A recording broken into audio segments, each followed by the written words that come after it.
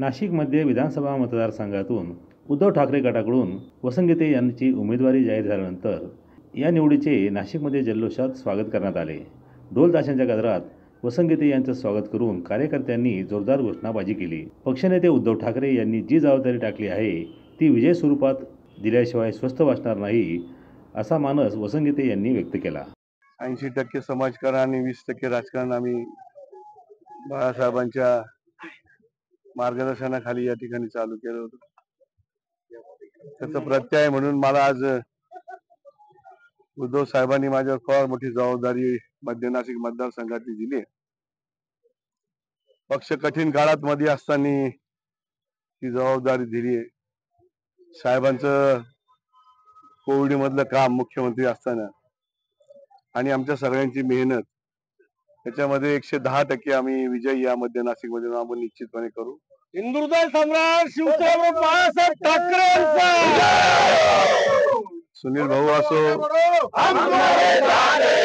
सुनील भाऊ असो विनायक भाऊ असो यतीन महाराज असो आमच्या सगळी टीम माझे सगळे सहकारी या सगळ्या गोष्टीला पात्र राहतील. नाशिकची जनता आमच्या अनेक वर्ष कामांचं चीज या ठिकाणी आम्हाला दिलेलं आहे. आम्ही एक नाही दोन नाही तीन तीन चार चार महापौर या ठिकाणी नाशिकच्या जनतेने दिले. आणि म्हणून मध्य नाशिकचा शिवसेनेचा पहिला आमदार होण्याचा मान सुद्धा आमच्या सगळ्या सहकार्यांमुळे मिळतं. निश्चितपणे मिळेल. मला खात्री आहे.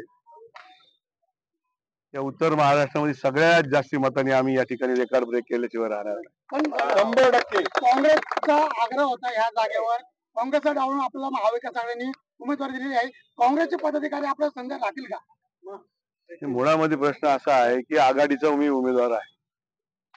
शिवसेनेचं अधिकृत चिन्ह आहे. आणि आघाडीच्या सगळ्या वाटाघाटीमध्ये आम्हाला ही जागा सुटलेली आहे. ज्या शेमराताई फिरत होत्या गजानन नाना शेलार फिरत होते आणि मी पण फिरत होतो. जे इच्छुक उमेदवार होते सगळे फिरत होते.